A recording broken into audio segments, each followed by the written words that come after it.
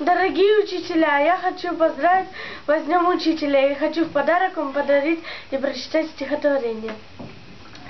Когда повсюду осень заправляет и в желтый цвет украшена земля, тогда свой светлый праздник отмечать. друзья для всех детей, учителя. Ты наш учитель, будь всегда веселым и не грусти, пускай мы шалим.